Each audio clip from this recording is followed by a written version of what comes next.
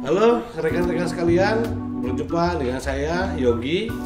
Hari ini kami kedatangan tamu Merah Johansa Ismail. Saya biasa memanggil dia Bung Merah karena dia adalah pemuda harapan bangsa ya.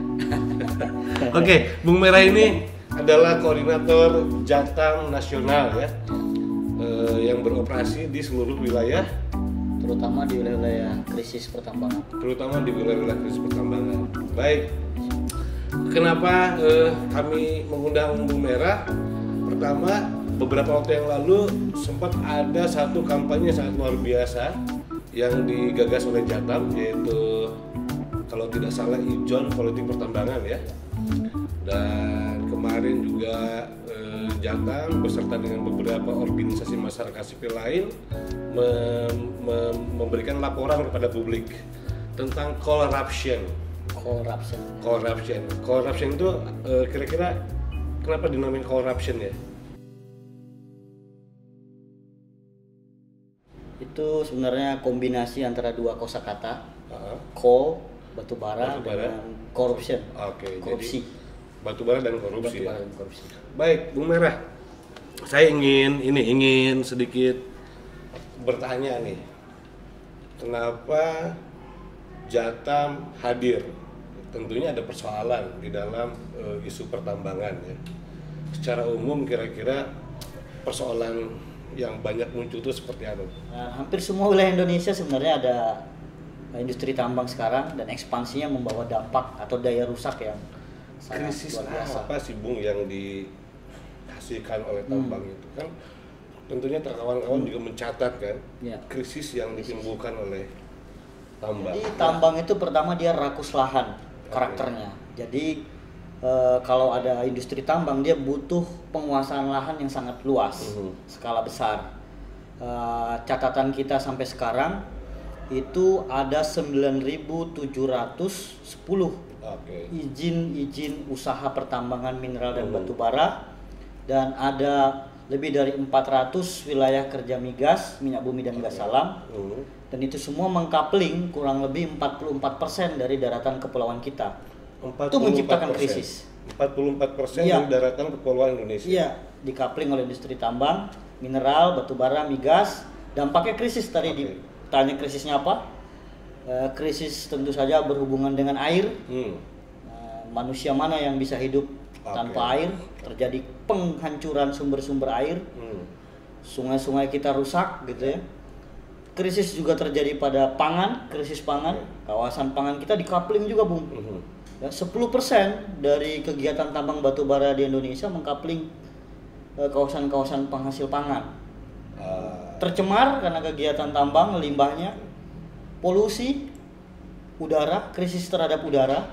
Kita tahu pembakaran batu bara menghasilkan PM 2,5 Iya.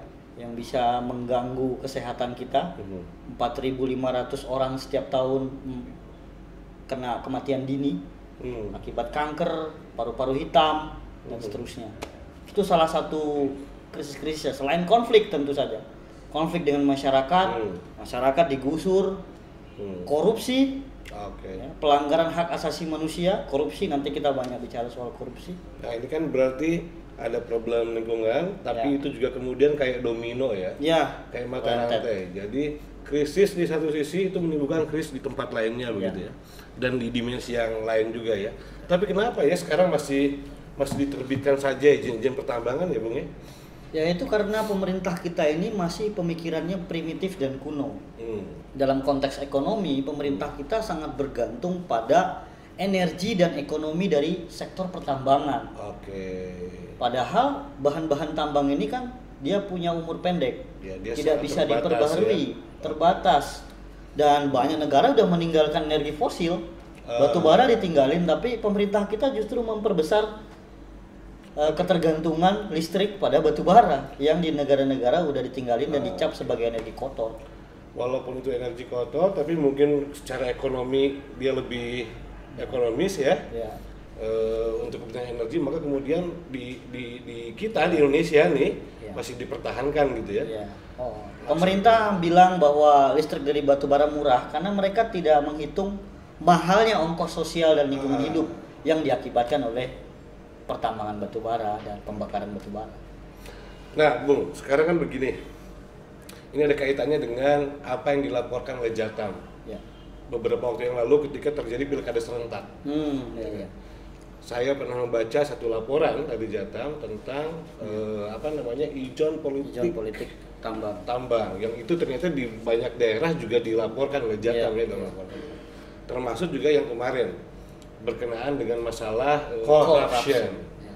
Ya kan. Terus kemudian saya sedikit membaca nih intinya adalah oligarki Hmm. Ada oligarki, Oligarki. ya kan berkua apa bermain di dalam wilayah pertambangan. Kalau boleh tahu bisa diceritakan nggak sih itu? Ya, jadi refleksi mendalam dari kerja-kerja advokasi Jatam selama ini menemukan eh, sebuah kata kunci, Hmm. sebuah kalimat kunci. Hmm. Bentang politik kita yang rusak Hmm. itu berkontribusi ikut menghancurkan bentang alam kita dan bentang lingkungan hidup kita. Oke.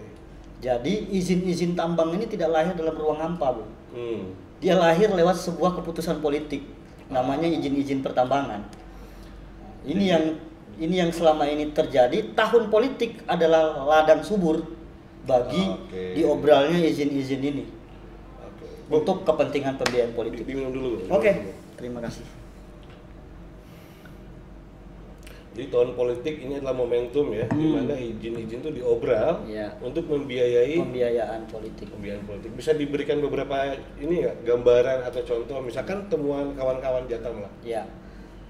Pada 2018 pada tahun ini kita ada pemilu gubernur. Oke. Ada 171 pemilu gubernur dan Hmm. bupati wali kota di seluruh Indonesia. Kami menemukan hanya dalam eh, kurang lebih 8-6 bulan menjelang bahkan beberapa minggu menjelang kampa- masa kampanye berjalan Ya.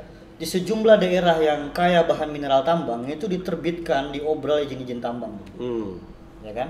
Jadi kita mencatat ada 171 izin tambang yang diobral Diterbitkan menjelang menjelang pilkada, menjelang pilgub karena itu tadi ini sumber pembiayaan. Ini indikasinya kuat. ya? Indikasinya kuat terutama dari eh, penelitian KPK.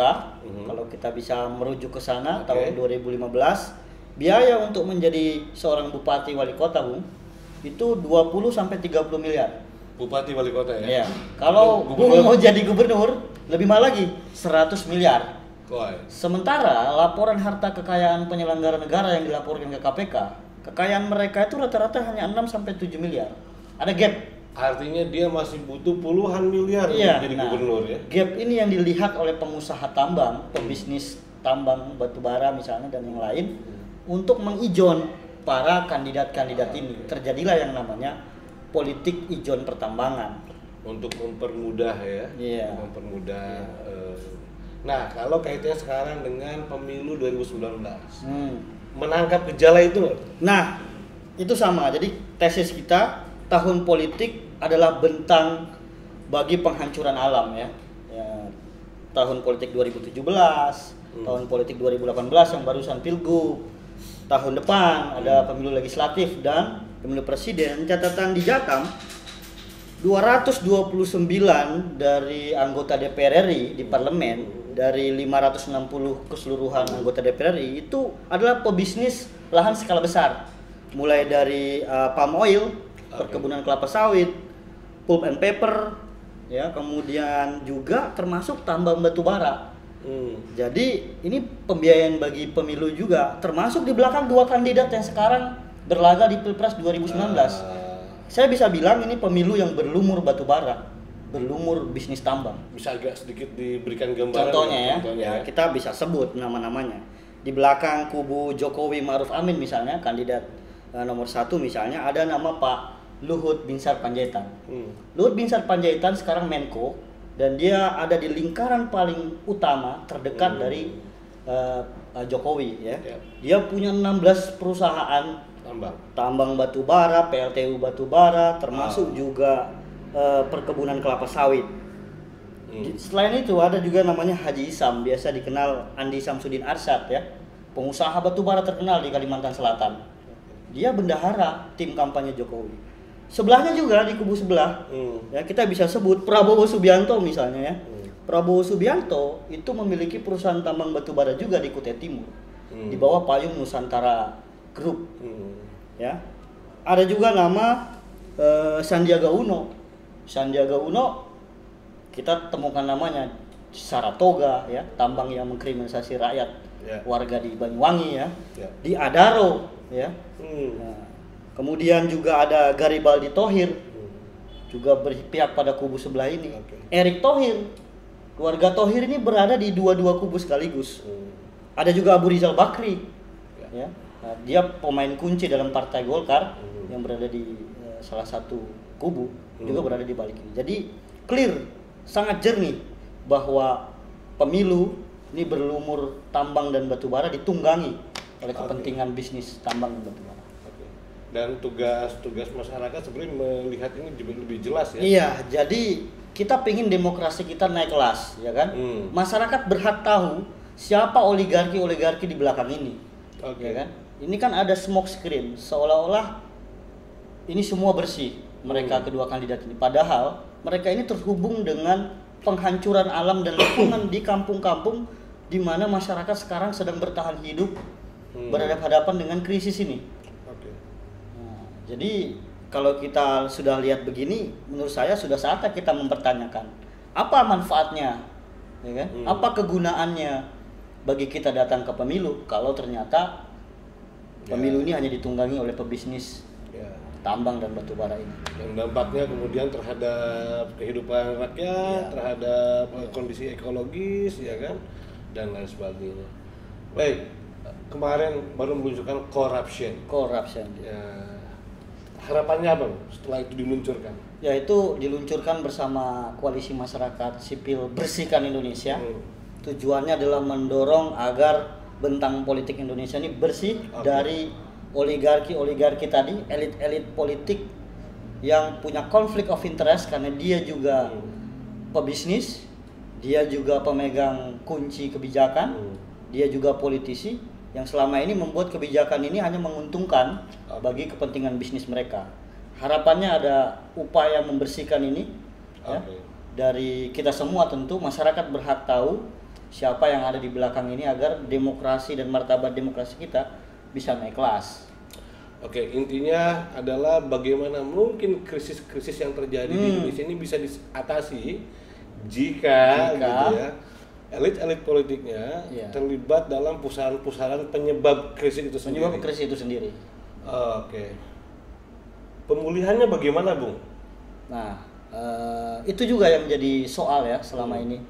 Eh, komitmen untuk pemulihan lingkungan hidup, Hmm. komitmen untuk pemulihan sosial ya, rehabilitasi dan apa eh, perbaikan yang kita idamkan itu tidak akan bisa tercapai juga kalau oligarki ini masih berkuasa di situ. Karena itu Jadi perlu ini adalah bagian dari pemulihan ya. Ya, Jadi eh, kira-kira kawan-kawan Jatah, bukan kira-kira, pastinya kawan-kawan Jatah memandang bahwa eh, membersihkan eh, elit-elit politik ya. Kita harus bersihkan demokrasi kita. untuk membersihkan Kita harus demokrasi. pulihkan demokrasi kita agar demokrasi kita ini bekerja Eh, untuk mendatangkan kesejahteraan, kemakmuran, ya kan lingkungan hidup yang baik dan sehat. Dan Ini kan diksinya sekarang ini bung hanya soal politik identitas, Ya. suku, agama, ras yang nggak penting sebenarnya. Yang dihadapi rakyat adalah soal ini krisis lingkungan hidup yang mereka hadapi sehari-hari.